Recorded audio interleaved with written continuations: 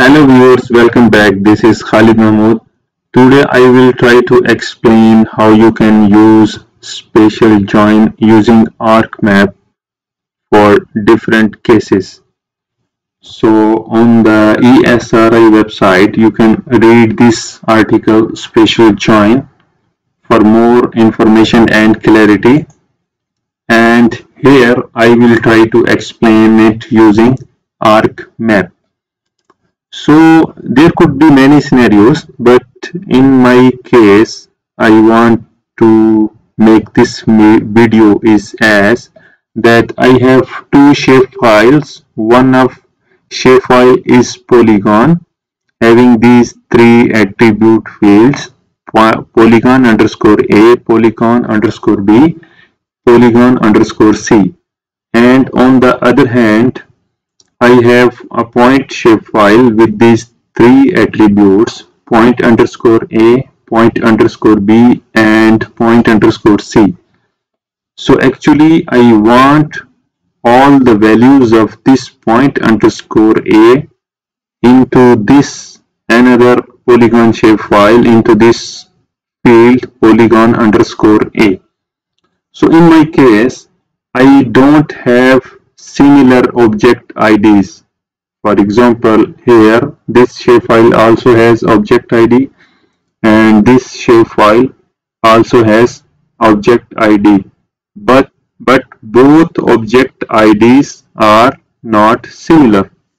So I cannot use a simple join. So in this case, I have to use spatial join in a case where all these points should fall inside all these polygons as you can see here on the map on this wallpaper actually that most of these points fall inside all these polygons. So uh, let's open ArcMap and uh, let's see how we can use this spatial join so I have opened ArcMap already and I have opened its both shapefiles, polygon and point. So actually I want to bring all these records of point underscore a into this field of polygon underscore a in a case where both object IDs are not similar. For example, in your case, if you have similar object IDs in both shapefiles then simply you can click on polygon come here join and relates click on join and you can use this first one join attributes from a table by selecting object ID with this point shapefile uh, on the field object ID then you can validate join and check.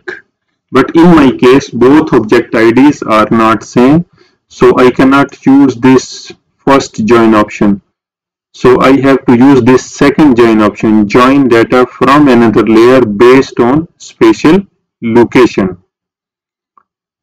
So I am going to join this polygon with this point shape file with this two radio button options. You are joining points to polygons.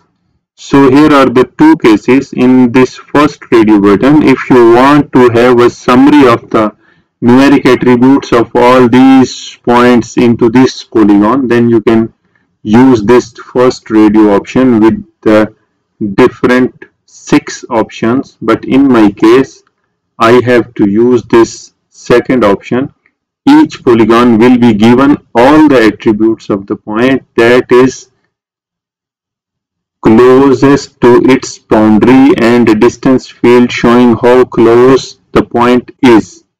So here just do remember after this spatial join actually what is going to happen we will have a new shape file uh, sorry we have a, yes we have a new shape file in which all the, all the attributes from this polygon shapefile and from this point shapefile will be uh, merged into one shapefile and then we can use field calculator on this field polygon underscore a to bring all the records of point underscore a into this polygon underscore a.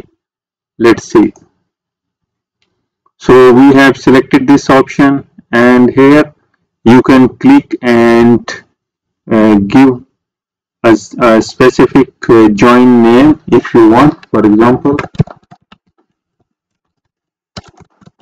special join click save then click ok so it will take time based on the number of the records uh, you have in your shape files. So now we have a new shape file with this name special join. Now you can close uh, these previous sh uh, shape files turn it off and just click it on special underscore join. And this shapefile will having this result let's open its attribute table. Yes that is which I was trying to show you in this image that or after this special join of this point to polygon you will have a third shapefile having all these columns. So now actually the purpose was here that I want to bring all these records of point underscore a into this polygon underscore a. So I will start editing.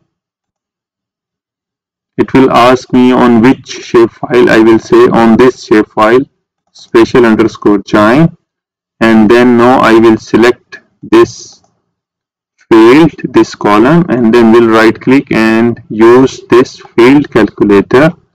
And then I will say that I want to bring these values point underscore a into this field. So you just have to double click here until it appears like this then click ok. And then now you have to save edits and then stop edits. Now this was the purpose of having this special join. So hope you like the video. Thanks for watching. If you have any queries, let me know in the comment box. I will try to reply. Thank you very much.